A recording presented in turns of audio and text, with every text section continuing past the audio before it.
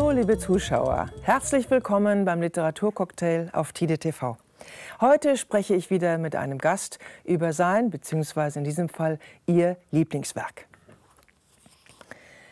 Im heutigen Gespräch widmen wir uns zum ersten Mal der Lyrik. Und zwar den Gedichten von Mascha Kaleko, einer der wichtigsten Autorinnen des 20. Jahrhunderts, 1912 in Polen geboren. Sie floh mit ihren jüdischen Eltern nach Deutschland, um Pogromen zu entgehen. Eine böse Ironie in ihrer Lebensgeschichte. In Berlin besuchte sie gegen den Willen ihres Vaters neben ihrer Lehre Kurse in Philosophie und Psychologie an der Universität. 1929 wurden ihre ersten Gedichte veröffentlicht. Berlins Avantgarde nahm sie auf. Sie kannte Ringelnatz, Kästner und Else Lasker-Schüler, eine bekannte Lyrikerin des Expressionismus. Im Gegensatz zu deren Stil fing Kaleko heiter und lakonisch Leben und Atmosphäre des Berlin der 20er Jahre ein. Und sie kam in Berlin sehr gut an. Man schätzte sie als weibliche Stimme der neuen Sachlichkeit, als Repräsentantin der modernen Frau. Ihre Texte wurden von bekannten Komponisten vertont und populäre Disösen interpretierten sie im Kabarett und im Rundfunk. Doch 1933, auf dem Höhepunkt ihres Erfolges, wurde es schwierig für sie. 1938 musste sie mit ihrer Familie emigrieren. Sie lebte bis zum Kriegsende in New York, zog Ende der 50er Jahre nach Jerusalem und starb 1975 auf der Rückreise nach Deutschland in Zürich. Richtig heimisch ist sie nach ihren Jugendjahren nirgendwo geworden, wie das folgende Gedicht beschreibt. Ich gehe wieder auf Reisen mit meiner leisen Gefährtin der Einsamkeit. Wir bleiben zu zweien einsam und haben nichts weiter gemeinsam als diese Gemeinsamkeit. Die Fremde ist Tröstung und Trauer und Täuschung wie alles. Von Dauer scheint Traum nur und Einsamkeit. Liebe Zuschauer, ich freue mich sehr, heute einmal wieder Viola Livera als Gast im Studio von Tide TV begrüßen zu können. Schauspielerin, Autorin, Theaterleiterin, aufgewachsen in Berlin, wie Mascha Kaleko. Und um sie vorzustellen, muss ich richtig Luft holen, denn mein Gast ist unglaublich vielseitig. Sie steht seit vielen Jahren auf der Bühne. Sie leitet die Theatergruppe Die Delikaten schreibt, inszeniert und choreografiert Stücke, Tänze und Programme für die Bühne und für die Straße. Sie steht in Film und Fernsehen vor der Kamera, singt Couplets und Chansons, sie spricht Synchron und Hörspiele, schreibt Gedichte und hat bei alledem die Zeit gefunden, heute einmal wieder mit mir über eine Schriftstellerin zu sprechen. Herzlich willkommen beim Literaturcocktail Viola Livera. Ja, danke schön. Wunderbar bei dir zu sein und ich einen Luxus auch. zu haben, dass wir beide Zeit gefunden haben. Ja. Toll, dass du da bist. Viola, du lebst ja seit vielen Jahren schon in Hamburg, ja. nicht mehr in deiner Heimatstadt Berlin. Mhm. Wie hast du das Fremde in einer neuen Stadt empfunden. War das so ähnlich wie in diesem Gedicht? Naja, Mascha Kaliko ist ja sozusagen unfreiwillig, hat sie ihre Heimat verlassen. Das ist der große Unterschied. Ich bin ja freiwillig nach Hamburg gekommen. Wenn man so in ein fremdes Land kommt, in eine fremde Stadt kommt, dann ist man geneigt, erst einmal zu vergleichen. Was gibt es Neues, was gibt es hier nicht und so weiter. Und wenn man damit aufgehört hat, auch sozusagen mit seinen eigenen Vorurteilen, sage ich immer, die soll man schön zu Hause lassen und nicht mit dem Koffer mitnehmen, dann kann man sich eigentlich wirklich öffnen für die Geschenke, die eine neue Stadt für einen bereithält. Und dann erlebt man auch diese neue Stadt als Abenteuer, die, egal wie, aber an jeder Ecke irgendwie nach dir winkt. Mhm. Und so empfinde ich Hamburg heute immer noch. Ah ja, gibt also immer noch Neues zu entdecken? Ja. Ja. Äh, es gibt äh, ein Gedicht, glaube ich, das äh, wäre schön, wenn du uns das liest, von Mascha Kaleko, das in diesen Zusammenhang passt, in das Reisen und das Unbehaustsein.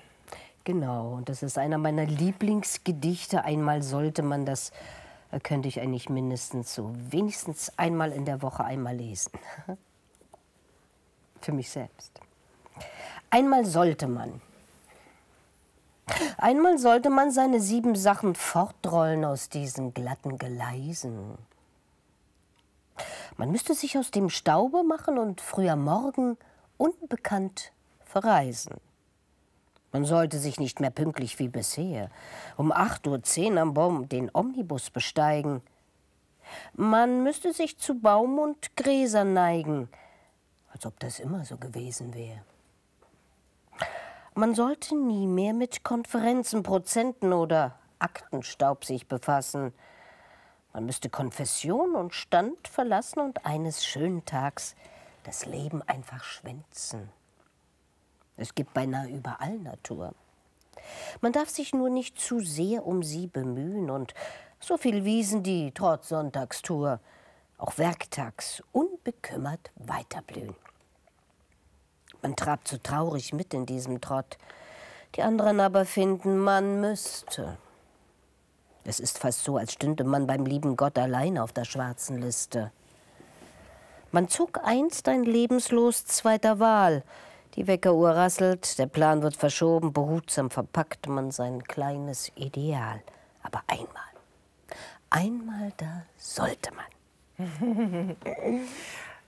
ja. Dem Leben entfliehen, dem Alltag entfliehen eigentlich, nicht wahr? Ja, es, man muss es ja nicht unbedingt machen, aber allein, ähm, das sage ich jetzt mal so, ähm, allein das schon auszusprechen, allein diese Fantasie zu haben und den Gedanken einfach alles beiseite zu macht das Herz schon mal frei für, oh, für eine Zeit, für einen tiefen Atemzug. Das ist ja das, wonach man sich sehnt, wenn man das in Verbindung mit Natur bringt. Und wie die Mascha Kaliko, sie sagte, ja, und die Natur gibt es überall, auch nebenan ist sie ja auch so etwas, würde ich sie mit einer Blume vergleichen, dann wäre sie so etwas wie ein Löwenzahn in der Großstadt oder wie ein Gänseblümchen auf einer Wiese, die der Bauer absägt und morgen wächst es wieder oder wie auch immer. Ähm, so etwas. Also so ein bisschen mit Kraft und hier bin ich. Ja, also dieser Gegensatz zwischen Großstadt, Pflichten, äh, dem üblichen Trott und der Freiheit, das gibt es doch eigentlich. Das ist das, woran man sich wiedererkennt in dem Gedicht, nicht wahr? Genau, und das mit der Worten der Poesie, die ich, wie ich meine, immer Nahrung für unsere Seele ist. Sehr schön ausgedrückt. Ähm, die Kunst, die Literatur und auch die sonstige die bildende Kunst und so weiter, das war ja eine ganz tolle Szene in Berlin der 20er Jahre. Da schwärmt man ja heute noch davon. Nun ist die äh, junge Frau, die junge Mascha Kaleko, da einfach so hineingekommen.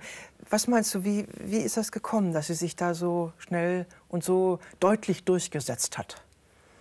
Naja, ich stelle stell mir das so bildlich vor in meiner eigenen Fantasie. Wenn ich ähm, mir einen Film darüber machen würde, würde ich sehen, wie sie dreimal um das Haus rumschleicht. Geht sie rein, geht sie nicht rein und irgendwann den großen Entschluss, jetzt gehe ich rein.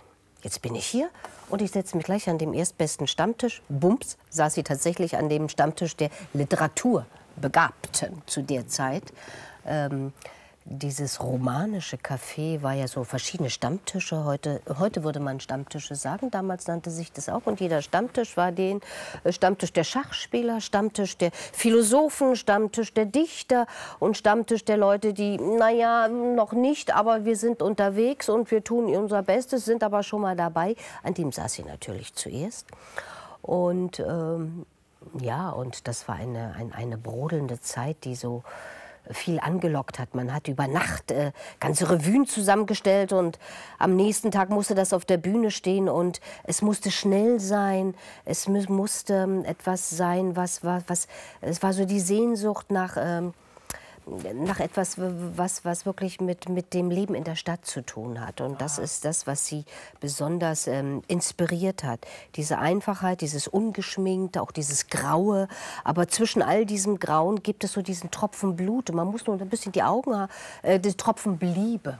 Ne? Mhm. Oder dieses Trocken, äh, Tropfen Blut. Insofern, es gibt so einen schönen Song über den romanische, romanische Kaffee. Ah. Zwei Tropfen Blut ähm, und, und ähm, ein bisschen mehr Poesie.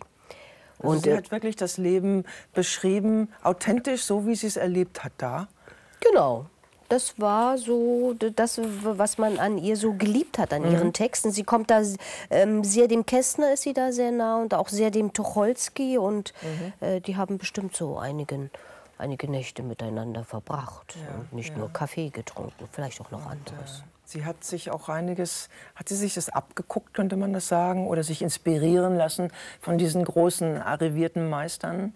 Ja, abgucken ich würde sagen, in, inspirieren. Man wirft mhm. sich so die Bälle hin und her. Ah, ja, gut, ah, das ist schön, ja. Und äh, mhm. man wirft sich die Bälle hinterher. Und das mhm. ist ja, was Kunst macht. Mhm. Genau, würde Kann, es inspirieren nennen. Kannst du uns, ähm, ja, das ist jetzt Ihre junge, Ihre Aufbruchzeit sozusagen. Ähm, kannst du uns noch mal etwas äh, vorlesen, was, äh, sag mal, ein bisschen ruhiger oder reflektierender ist? Ja, das ist dann schon die ältere Mascha Kaleko, die sozusagen ein bisschen die Weisheit äh, gewonnen hat aus dem noch ein, aus dem gelebten Leben und noch einmal zurückblickend. Die Zeit steht still. Die Zeit steht still. Wir sind es, die vergehen. Und doch, wenn wir im Zug vorüberwehen, scheint Haus und Feld und Herden, die da grasen wie ein Phantom, an uns vorbei zu rasen. Da winkt uns wer und schwindet wie im Traum, mit Haus und Feld, Laternenpfahl und Baum. So weht wohl auch die Landschaft unseres Lebens an uns vorbei zu einem andern Stern und ist im Nahekommen uns schon wieder fern. Sie anzuhalten suchen wir vergebens und wissen wohl, dies alles ist nur Trug. Die Landschaft bleibt, indessen unser Zug zurücklegt die ihm zugemessenen Meilen. Die Zeit steht still. Wir sind es, die enteilen. Das ist ja eine ganz, äh, äh, ganz interessante Symbolik, die Sie da in dem Gedicht verarbeitet. Nicht? Das, der Mensch als Reisender und, und äh, ständig in Bewegung und äh, nur so lange unterwegs, wie ihm zugemessen ist, heißt es da drin, nicht wahr? Ja, es ist ja auch die äh. Zeitform von Tempo und die Eisenbahn fahren und die Rollen. Es ja. ist immer noch diese Aufbruchsstimmung und dieses alles und genau dieses Tempo was wir ja. heute doppelt und dreifach und vierfach so schnell empfinden. Ja, aber damals in den 20ern, da waren die Leute ja total aufgeregt über die ganzen neuen ja. Empfindungen, Transportmittel, Elektrizität, Telefon, was weiß ich, was alles da noch ja. ganz frisch war. Ne? Also mir geht es aber genauso, wenn ich im Zug sitze dann, dann kann ich irgendwie alles, äh, das ist eine andere Zeit, wenn ich im Zug sitze, ja. weil ich kann nicht mehr zu Hause an meinem Büro still sitzen oder sonst irgendwas. Dann fange ich immer an, Poesie zu schreiben oder Tagebuch zu schreiben, weil irgendwie ist das ein, eine andere, wie ein anderer Zeitraum empfinden und äh, wo, wo man alles auch, äh, viele Dinge zurücklassen kann und nun plötzlich im Kopf äh, und im Herzen so neue Gedanken entstehen können und Erinnerungen auftauchen. Ich finde das mhm. immer eine sehr, für mich ist das immer eine sehr poetische Zeit, wenn ich Zug fahre. Mhm. Ähm, ich würde jetzt gerne mal einmal auf die Wirkung Ihres Werks zu sprechen kommen. Äh, also der Literaturkritiker, äh, Gott hab ihn selig, leider ist er ja nicht mehr unter uns, Marcel Reich-Ranitzky, hat sich natürlich auch mit Mascha Kaleko beschäftigt. Ja. Und unter anderem hat er über sie geschrieben, ihr Werk macht es den Kritikern, die sie ernst nehmen, schwer und den Lesern immer leicht. Was hat er damit wohl gemeint? Was meinst du? Ja, vielleicht ist es eine Selbstkritik auch, meine ich. Eher als in, sage ich mal, als intellektueller Gebildeter oder es muss natürlich auch immer einen intellektuellen Ansatz finden und das ist ja auch ähm, ähm, mit Sinn der Sache, aber als eher als Mensch findet man noch zu den Gedichten viel einen viel direkteren Zugang. Und das sind einfach Gedichte, die, die, die wollen den direkten Zugang. Die lassen alles andere weg. Und äh, ähm, ja. Kann es sein, dass sie Schwierigkeiten hatte mit Kritikern und nicht so viele mit dem Publikum? Also dass die Kritiker es vielleicht nicht so als intellektuelle Leistung anerkannt haben? Oder bin ich da auf dem falschen Dampfer? Ja, so kann man es in, interpretieren. Es war ja auch nicht so einfach als Frau, als Künstlerin war ja nach wie vor etwas noch Ungewohntes in dieser Zeit. Und sie war zu einer der ersten, obwohl sie vom Niveau her oder von dem Können oder von, dieser, von dem, was sie an Gedichten geschrieben, sehr dem Kästner und Tucholsky und äh, vielleicht auch noch anderen Ringeln als ähnlich war, war sie aber immer eine Schattenfigur von denen. Mhm. Das war damals. Und erst heute taucht sie wieder auf und wenn man mit manchen spricht, sagt Mascha Kaleko, Mascha Kaleko. Ich finde sie, ähm, ihre Gedichte auch so etwas wie zeitlos. Mhm. Ein Großteil, ist, für mich ist es Großstadtlyrik auch ja. sehr viel. Und ja, deswegen freue ich mich umso mehr, dass du sie auch entdeckt hast und dass ich hier so einiges von ihr heute präsentieren kann. Aber auf jeden Fall, ähm, egal ob intelligent oder intellektuell oder nicht intellektuell, äh, Kritiker oder nicht, sie ist direkt. Mit sie ist direkt. Ja, genau. Ja, ja. Also sie war, sie war ja eine Frau ihrer Zeit. Ne? Ja. Ganz modern, ganz selbstständig und, und hat getan, was sie wollte, wie wir eben gehört haben, ja auch gegen den Willen äh, des Vaters, hat sie sich eben weitergebildet und hat also ihr Leben geführt, wie sie das wollte. Ähm, aber äh, wie, was war denn mit der Liebe zum Beispiel? Also sie hat ja auch sehr schöne und, und gefühlvolle Liebesgedichte geschrieben. Äh, so, ganz, äh, so ganz viel Glück hatte sie in der Liebe wohl nicht. Oder so ganz zufrieden war sie da wohl nicht. Naja, der Aspekt der Trauer oder der Unzufriedenheit einer Liebe ist ja immer ein Aspekt, den wir alle durch, durchleben. Und oft sind es natürlich auch manchmal die Schattenseiten, die einen auch inspirieren Gedichte zu schreiben, um letztendlich vielleicht wieder zu seiner eigenen Liebe zurückzufinden, weil man merkt, es geht eigentlich immer um die eigene Liebe zu sich selbst. Mhm. Und wenn du die in dir gefunden hast, mit dem entsprechenden Humor auch über sich selbst lachen zu können, kannst du auch wirklich die Liebe von anderen überhaupt annehmen oder erkennen. So mhm. würde ich das heute mal, würde ich das heute so bezeichnen, ja. Mhm. Und ähm, ich bin sie, sie, sie hat es ausgesprochen und ich glaube, dass sie alles, was die Liebe uns schenken kann, erlebt hat. Bestimmt von Traurig und Einsamkeit und bis zu euphorischem ja. Glück, dass man glaubt, man ja. ist im, Sie im siebten Himmel oder das Paradies auf Erden. Sie hat es ausgesprochen, hast du gerade gesagt. Ja. Dann bitte lasst uns hören, was sie ausgesprochen hat. Ein schönes Liebesgedicht von Mascha Kaleko, bitte. Das ist jetzt dieses neue Gedicht, Zärtliche Epistel, ja? Zärtliche Epistel. Mhm. Der blaue Himmel ist nur halb so blau, weil du nicht da bist, Liebster. Deine Nähe macht, dass ich alles Schöne schöner sehe. Ich bin doch eine unmoderne Frau. Ich liebe dich trotz Ehering und Sorgen. Und Heimat ist nur, wo mit dir ich bin.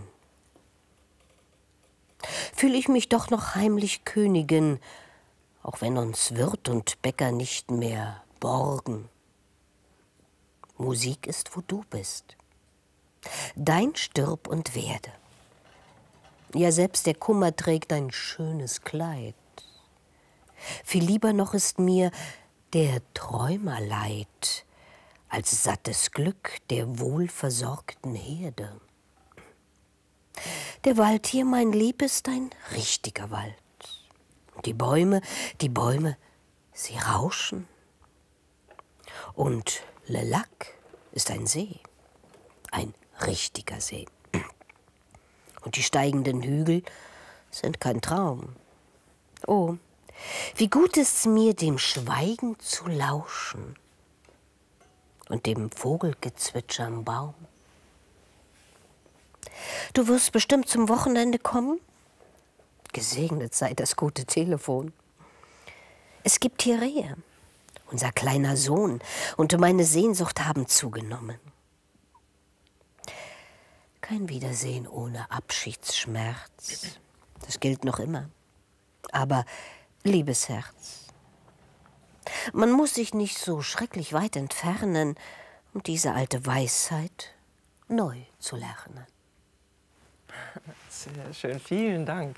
Also es hört sich für mich an, dass sie dann nicht in Berlin ist, sondern äh, genau. irgendwo im Gebirge, vielleicht in Zürich, weil sie sagt Le Lac oder in Genf. Ja, das kann durchaus sein, dass sie tatsächlich mal einfach ihre Sachen genommen hat und, und verreist Lohn ist aus der Großstadt. Ja, ja, ja. genau. Also was ich da to toll finde, ich meine, äh, ist diese, diese, dass sie sich das bewahrt hat, nicht wahr? Trotz des Alltags, der ja durchaus darin gestreift wird in dem Text, äh, sich diese romantischen Gefühle zu bewahren und vielleicht gerade in dieser aus, außergroßstädtischen Situation dann auch mal wieder zu erwecken. Ne? Ja, die ich finde es ganz schön, Romantik. diese Formulierung, wie gesagt, das ist ein richtiger Wald. Ja. Das ist ein richtiger Baum, nicht nur wie auf einer Postkarte oder im Film, sondern ja. du, der Berg ist echt. ja, ähm, ich würde gerne noch auf äh, Ihren größten und bekanntesten Erfolg, das lyrische Stenogrammheft, zu sprechen kommen. Mhm. Äh, Lyrik ist ja, da stellt sich ja jeder was wunderbar Romantisches und Zauberhaftes drunter vor. Und sie kombiniert diesen äh, romantisch besetzten äh, Begriff Lyrik mit einem ganz profanen Büromittel, Stenogrammheft. Ja? ja. Da sitzt die Sekretärin und schreibt Stenogramm, was der, äh, was der Chef ihr diktiert. Ähm, das äh, ist doch ein Stilmittel, ist das ganz typisch für Sie, oder? Oder war das Mode damals, solche, solche Kontraste zu bilden? Vielleicht war es auch ein bisschen Mode oder man hat es entdeckt. Ähm, aber es war auch, es ist, ähm, es ist auch ein bisschen sozusagen die Poesie, die in unsere moderne Zeit ähm, ist ja so, denkt man so, so, die Poesie, wo ist denn die Poesie? Die ist weg oder muss man dann erst in die Natur fahren, um sie wieder zu entdecken oder mhm. die alten Romantiker rausholen? Nein, es geht eigentlich darum, sie wieder im Alltag zu entdecken mhm. und ganz bewusst. Man kennt das ja auch so, wie gerne man so gerne abschweift von dem, was man tut. Aber dieses Abschweifen ist auch etwas sehr Gesundes für unsere Seele, weil sie baut unsere Seele auf, sie erfrischt uns, sie erfrischt auch unsere Gedanken und unsere Lebenskraft. Poesie ist Medizin. Poesie ist ähm, Nahrung. Und ähm, deswegen diesen Vergleich, so, ja, das Arbeit ist wichtig und gut und wunderbar und ich mache das auch gerne und richtig und hm, pünktlich und das alles, aber es gibt auch noch diese andere Seite. Und beide Schwestern sind ein gutes Team. Mhm. Meinst du, das war vielleicht auch eine Art, diesen Auftragsarbeiten etwas entgegenzusetzen? Wir haben ja eben gehört, äh, dass äh, oftmals im Kabarett und überhaupt für ihre Bühnentexte, dass da wohl auch ein bisschen Druck dahinter stand. Er muss schnell, schnell, schnell fertig werden, damit die Premiere rauskommen kann und so weiter. Das ist ja für einen Schriftsteller oder Autor auch eine ganz schöne Belastung. Ne? Ja, es ist eine Belastung, aber ich glaube, die, die, die genialen Momente, die entstehen immer, oder überhaupt Kreativität, es entsteht immer, ich sage es immer so, zwischen Tür und Angel. Man muss die Kreativität eigentlich auch loslassen, äh, damit sie dir überhaupt wieder begegnen kann. Und ähm, damit sie dich inspirieren kann. Das, das, ist etwas, was nicht unbedingt nach Plan, jetzt bin ich kreativ oder so etwas, sondern mhm. ähm, okay, ich habe die Aufgabe, aber dann muss ich die Aufgabe auch wieder loslassen, damit ich die Aufgabe erfüllen kann. Es ist ein komischer Widerspruch, aber ich glaube, das ist Leben. Leben ist voller Widerspruch. und so entsteht Lebendigkeit und Kreativität. Sie hat, ähm, meinst du, dass sie ihre Inspirationen aus quasi aus allem gezogen hat, was sie umgeben hat? Ja, ich glaube, das ist ihre große, große Kunst oder mhm. das ist vielleicht auch ihre große Botschaft. Mhm. Ihre Botschaft auch heute noch. Sie wirklich äh, zu entdecken, die, die, die Schönheit im Augenblick und egal, wo du bist, wo, du, wo es ist. Und auch ähm, diese, diesen, die, diese Kraft zum Humor zu haben, über sich selbst lachen zu können. Das sind also Dinge, ja, die sie uns geschenkt hat mit ihren Gedichten. Und deswegen mhm. sind sie so über ihre Zeit hinaus mhm. für uns heute auch noch mhm. so erfüllend. Ja, das ist doch ein, ein wunderbares äh, Schlusswort mit dem man auf jeden Fall noch weiter stöbern kann ja. im Werk von Mascha Kaliko. Ja, ich möchte noch eine Kostprobe hier mhm. zu Gehör bringen zum Abschluss. Das ist noch ein Gedicht von ihr. Ähm, und da ist dieser äh, leicht melancholische Ton und gleichzeitig lakonische Ton äh, ist drin. Äh, und auch eine Menge Metaphern. Ähm, da geht es um einen alten Verehrer und das Gedicht heißt ein Postskriptum. Mhm. Von meinem alten Anwalt kam ein Brief. Er schreibt wie immer. Sachlich, fachlich, Ihr Ergebener. Da übersah ich beinahe das Postskriptum. Nun, da mein Leben sich dem Abend zuneigt und jenes dunkeln Engels Flügelschlagen schon manche Nacht den Herzschlag übertönt, will ich, verehrteste, es einmal sagen, ich habe 30 Jahre sie geliebt. Nun liegt ein Weltmeer zwischen mir und Ihnen. Und immer warte ich, dass noch ein Brief, kein Liebesbrief, und doch ein Schmetterling in mein mit Akten tapeziertes Leben flattert. Oh, wie schön. Das eigentliche Leben zwischen den Zeilen. Wunderschön, traumhaft, ja. Ja, also auch Ihr Anwalt war äh, in dieser alten Liebe, in dieser jahrelangen Liebe etwas melancholisch geworden. Und so leise melancholisch verabschieden wir uns jetzt auch von der Dichterin Mascha Kaleko. 100 Jahre jung, so möchte ich sagen. Da sind wir uns sehr einig. Sie, ist, äh, sie war und ist alles andere als altmodisch. Und sie ist auch nicht, Gott sei Dank, nicht vergessen. Und für dieses schöne Gespräch und diese Anregungen und Informationen bedanke ich mich ganz, ganz herzlich bei dir, liebe Viola Livera. Es war schön, dass du bei uns warst. Vielen Dank. Danke, Cornelia. Es war mir eine große Ehre und Freude. Sehr. Liebe Zuschauer, diese Folge des Literaturcocktails mit, mit mir, Cornelia Kirwald und diesmal auch mit Viola Sivera, geht zu Ende. Es war die hundertste Sendung seit meinen Anfängen bei Tide TV im Jahre 2008. Und ich danke Ihnen, liebe Zuschauer, vielmals, dass Sie meiner Sendung all die Jahre treu geblieben sind. Das Gespräch im Literaturcocktail wird fortgesetzt und Sie können live dabei sein. Schreiben Sie mir unter literaturcocktail.tidenet.de. Empfehlen Sie mir ein Lieblingsbuch und stellen Sie es mir und den Zuschauern von Tide TV vor. Ich freue mich auf Sie. Und für heute schönen Dank fürs Zuschauen und Tschüss, bis zum nächsten Mal im Literaturcocktail auf Tide TV.